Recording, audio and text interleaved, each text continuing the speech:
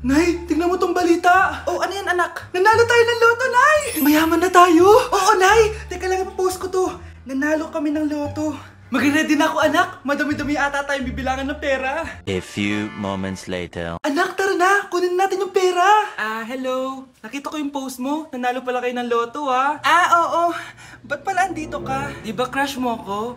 Liligawan sana kita. Che! Di ba nireject mo ako dati? Peperahan mo lang ako eh. Hoy, lalaki ka! Alam ko na balak mo. Porket nanalo kami ng loto, jujuwain mo na tong anak ko? Ah, hindi ko naman po peperahin yung anak nyo. Ay, oo, Mare. Hindi naman peperahan ng anak ko yung anak mo. Oh, ba't nandito ka? Ah, makikipag-close sana ako sa'yo kasi magiging bilang ka na ng anak ko. Ay, tiilan nyo kami. Peperahan nyo lang kami.